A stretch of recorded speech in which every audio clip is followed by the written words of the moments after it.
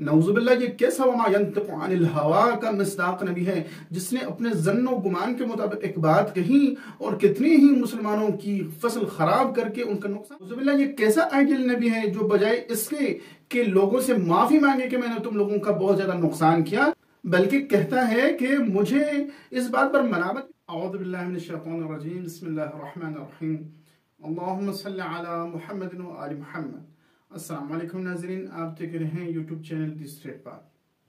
ناظرین، سب سے پہلے تو مجھے اس بات پر حیرت ہوتی ہے کہ اہل سنت اپنی معتبر ترین احادیث کی کتابوں یعنی صحیح مسلم اور صحیح بخاری کے ساتھ بھی مخلص نہیں ہیں، کہ بہت ساری جگہوں پہ انہوں نے بہت ساری احادیث کو بیان نہیں کیا۔ مثال کے طور پر جو عربی کی مکتب شاملہ ہے، وہاں تو آپ کو تمام تر احادیث مل جائیں گی۔ لیکن وہی مکتب شامل ہے جو اردو میں ہے، اس میں آپ کو بہت ساری احادیث نہیں ملیں گی۔ اور اسی طرح بہت ساری چاپوں میں بھی یہی کام کیا گیا ہے۔ خیر، ناظرین، رسول اکرام اسلام کی وہ عظیم ذات ہے، جن کا قول اور عمل دونوں ہمارے لیے حجت ہیں۔ جن کے قول کے بارے میں خدا متعال نے ارشاد فرمایا کہ وما ينطق عن الهوى ان هو الا وحي يوحى۔ یعنی قول الرسول قول خدا متعال ہیں۔ اور جن کے عمل کے بارے میں خدا متعال نے فرمایا کہ لَقَدْ كَانَ لَكُمْ فِي رَسُولِ اللَّهِ أُسْوَةٌ حَسَنَةٌ یعنی کوئی شک نہ کرنا اس بات میں کہ رسول اگرام اسلام تمہارے لیے بہترین نمونہ عمل، بہترین آئیڈیل ہے۔ اب آئیے دیکھتے ہیں اہل سنت کی معتبر ترین کتاب صحیح مسلم، جہاں کتاب الفضائل میں رسول اگرام اسلام کے فضائل بیان کرنے کے بعد آخری باب کا عنوان ہے، وجوب امتثال ما قاله شرعا دون ما ذکره من معایش الدنیا على سبیل الرأی۔ یعنی ان باتوں کو صرف لینا ہے رسول اکرم اسلام سے جو انہوں نے شریعت کے بارے میں کہی ہیں۔ اور دنیاوی زندگی کے بارے میں اگر انہوں نے کوئی بات کی ہے تو اس پر عمل کرنا واجب نہیں ہے۔ اس باب میں کل تین احادیث بیان ہوئے ہیں جو ایک ہی واقعہ سے متعلق ہیں۔ اب بات کچھ یوں ہے کہ جو کھجور ہے جب اس کے پھل لگنے کا وقت آتا ہے تو اس میں تلقیح کی جاتی ہے، جسے اردو زبان میں جرگن یا گابا لگانا کہا جاتا ہے۔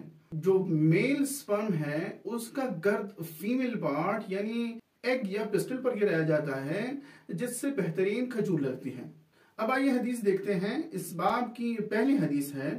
موسیٰ طلحہ اپنے والد سے روایت کرتے ہیں کہ مررت مع رسول اللہ صلی اللہ علیہ وسلم بقوم علی رؤوس النخل، کہ میں ایک در رسول کرم اسلام کے ساتھ کچھ لوگوں کے قریب سے گزرا جو کھجور کی درختوں پر چھڑی ہوئے تھے۔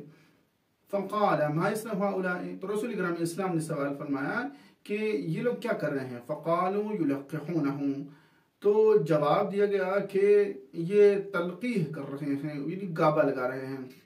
یجعلون الذکر فی الانثى فیلقہم یا فیلقہ یعنی یہ میل سپرم کو فیمیل سپرم کے ساتھ ملاتے ہیں اور یہ تلقی ہو جاتی ہیں. فقال رسول اللہ صلی اللہ علیہ وسلم، ما اظن یغنی ذالک شیئا تو پیمبر گرام اسلام فرماتے ہیں کہ میرا کوئی خیال نہیں ہے کہ اس کام کا کوئی فائدہ ہوگا. قال فاخبروا بذلك فتركوه. تو کہتے ہیں کہ ان لوگوں کو رسول گرام اسلام کی اس بات کی خبر دی گئی تو انہوں نے یہ گاوا لگانا ترک کر دیا۔ پھر کیا ہوا؟ اب دیکھیں دوسری حدیث۔ اب بعد والی حدیث کے الفاظ یہ ہیں کہ رسول کرم اسلام نے فرمایا، لعلکم لو لن تفعلوا کان خیرا اگر تم لوگ یہ گابل نہیں لگاتے تو بہتر ہوتا۔ فترکو ہو تو انہوں نے ترک کیا۔ اور نتیجہ کیا نکلا؟ فنفضت او فنقصت۔ یعنی وہ کھجور یا پکنے سے پہلے گھر گئی اور یا پھر وہ بہت ہی بری کھجور نکلی۔ قال فذکر ذلك له۔ فرمایا کہ رسول اکرام اسلام کو اس بات کی خبر دی گئی۔ اب پہلی حدیث کی طرف آئیے۔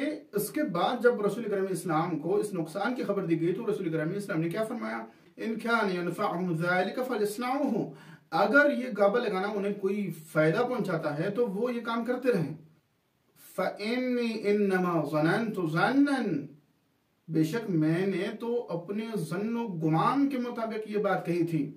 نعوذ باللہ، یہ کیسا وما ینطق عن الہوا کا مصداق نبی ہے، جس نے اپنے ظن و گمان کے مطابق ایک بات کہی اور کتنی ہی مسلمانوں کی فصل خراب کر کے ان کا نقصان کر دیا۔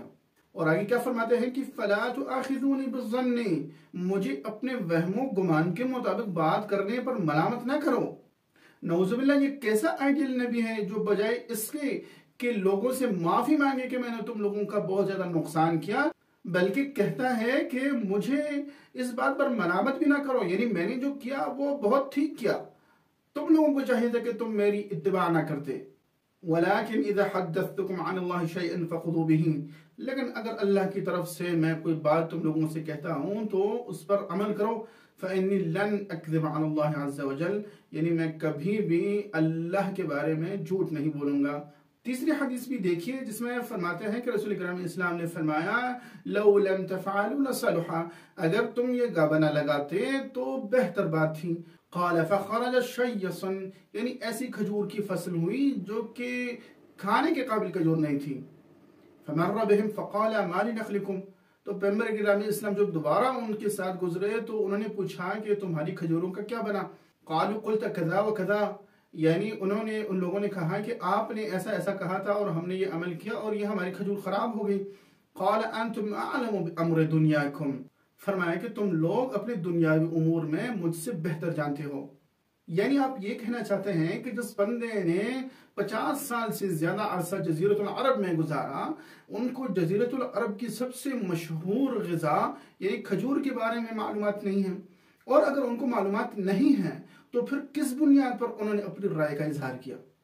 ناظرین، جب آپ یہ جان گئے ہیں کہ یہ احادیث قرآن کی سریح آیتوں کے خلاف اور من گھڑت جھوٹی احادیث ہیں، تو سوال ذہن میں یہ پیدا ہوتا ہے کہ ان احادیث کے بنانے کا، ان احادیث کے گھڑنے کا فائدہ کیا تھا؟